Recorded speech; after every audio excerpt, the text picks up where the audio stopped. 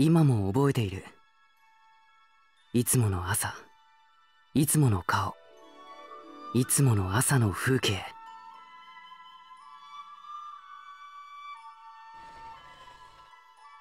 雪が降って危ないから行かなくてもいいんだよ。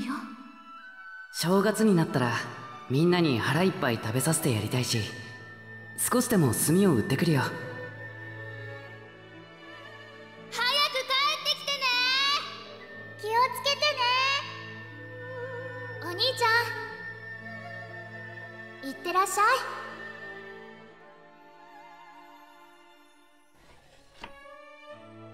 活は楽じゃないけど幸せだった。母ちゃん竹雄茂花子六太そして禰豆子。いつもの朝の風景だった。いつまでも変わらないものだと思っていたんだ。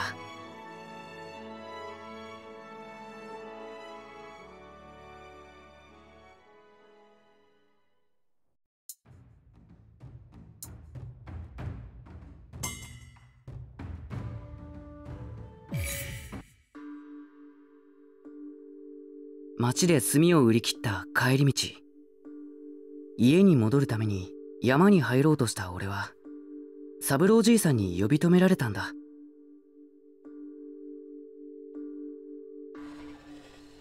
こら炭治郎おめえ山に帰るつもりか？危ねえからやめろ。鬼が出るぞ。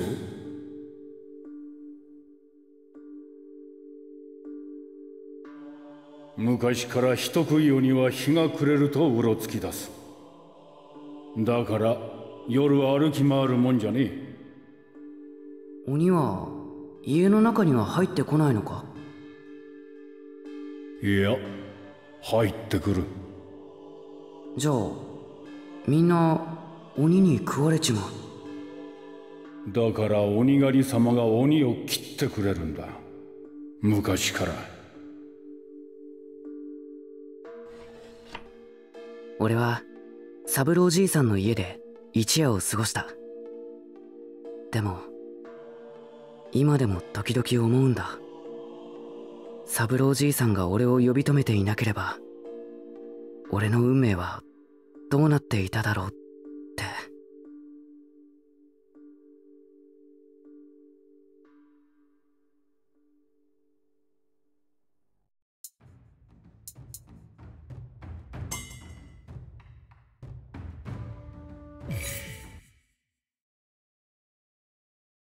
家の手前で不吉な匂いが俺の鼻をついた。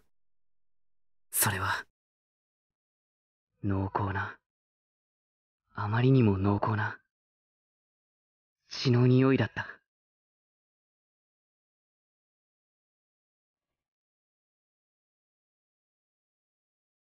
禰豆子ロクタどうした？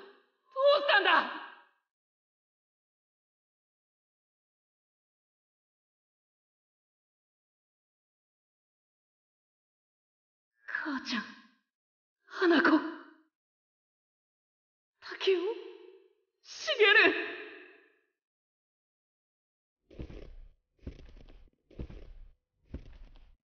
禰豆子だけはまだぬくもりがある。医者に見せれば助かるかもしれない。絶対助ける。兄ちゃんが助けてやる。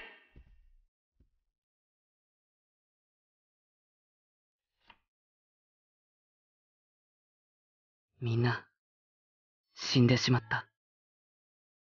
ただ一人禰豆子だけ残して。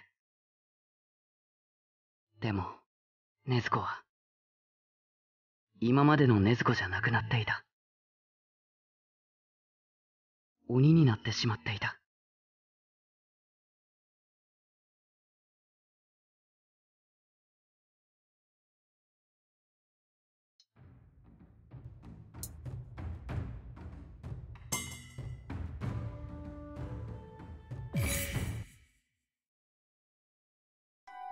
禰豆子は鬼となってしまった。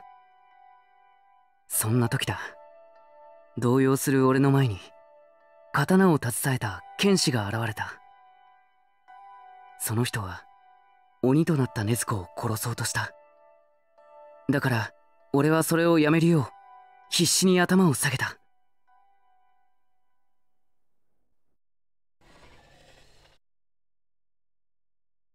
やめてくださいどうか妹を殺さないでください。お願いします。生殺与奪の剣を他人に握らせるな。惨めったらしくうずくまるのはやめろ。そんなことが通用するならお前の家族は殺されていない。奪うか奪われるかの時に主導権を握れない弱者が妹を治す。敵を見つける。少子千万弱者には何の権利も選択肢もない。ことごとく力で強者にねじ伏せられるのみ。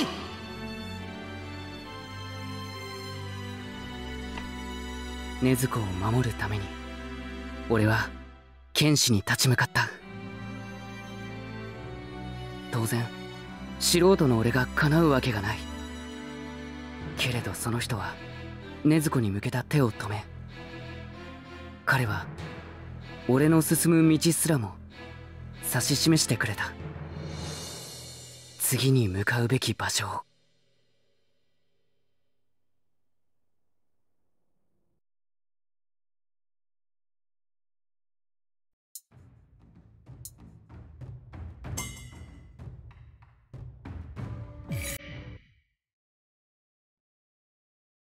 その少年は、泣きながら俺に土下座した。鬼と化した妹を救いたい一心で。俺は怒鳴りつけた。その考えの甘さを、敵にすがる愚かさを。お前が今すべきことは、そんなことではない。俺が妹を捕らえて刀を突きつけると、少年は斧をつかみ、俺に向かって突進してきた。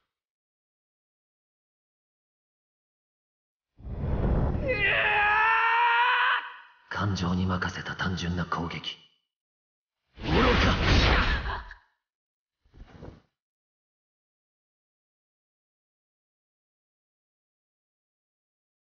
斧はどこだ？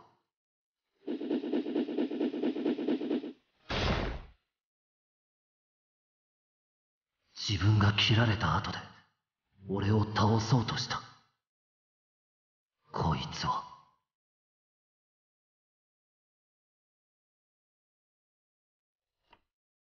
少年の判断力。今の一瞬で考えたというのか。技量で勝る相手を打ち倒す策を。そして、それを実行するために、躊躇なく立ち向かってきた。こいつは、この少年は。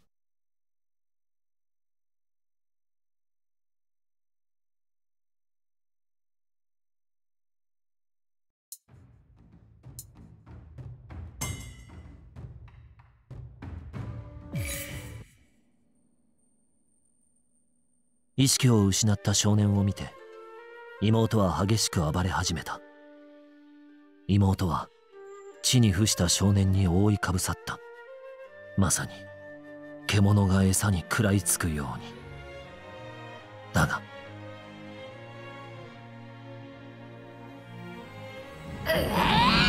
しまった。食われる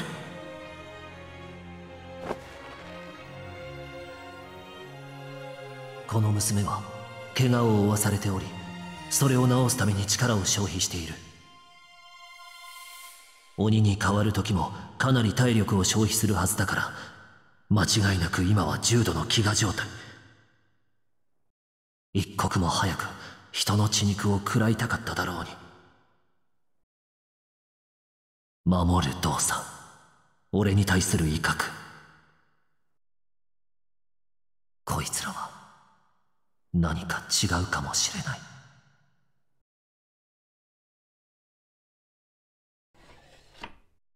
何かが違う。故に俺は可能性にかけてみることにした。兄の覚悟に妹の意志に。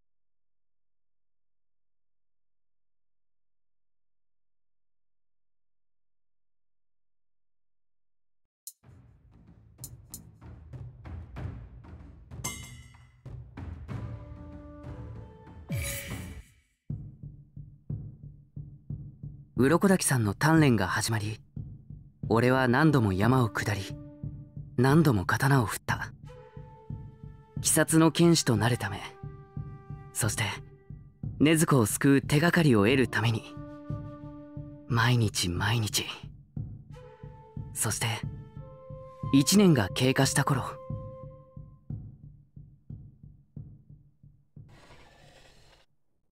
もう教えることはない。あとはお前次第だ。お前がわしの教えたことを消化できるかどうか。この岩を切れたら最終選別に行くのを強化する。鱗滝さんはそれから何も教えてくれなくなった。俺は鱗滝さんに習ったことを毎日繰り返した。ただ。半年経っても岩は切れなかった。俺ダメなのかな？うわくじけそう負けそう。うるさい。男がわめくな。見苦しい。どんな苦しみにも黙って耐えろ。お前が男なら男に生まれたなら岩を切ることができず焦り苦しむ俺の前にその少年は突然現れた。名はサビト。不思議な雰囲気を持つ少年だった。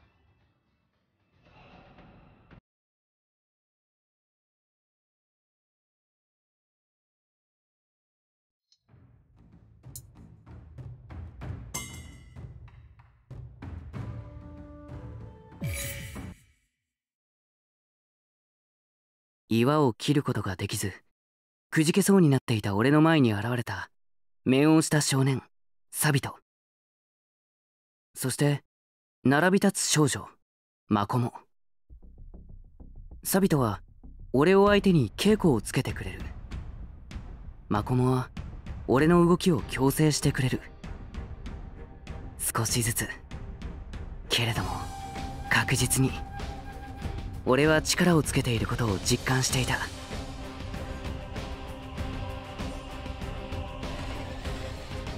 お前の血肉に叩き込め。もっともっと。もっと鱗滝さんが教えてくれた全ての極意を決して忘れることなどないように。骨の髄まで叩き込むんだ。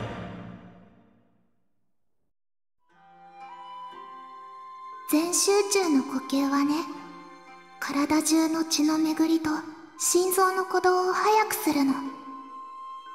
よくわからない。どうやったらできるかな？死ぬほど鍛える。結局それ以外にできることないと思うよ。来る日も来る日も俺は大岩の前でサビトと戦いマコモの教えを受け続けた。腕が足がちぎれそうなほど。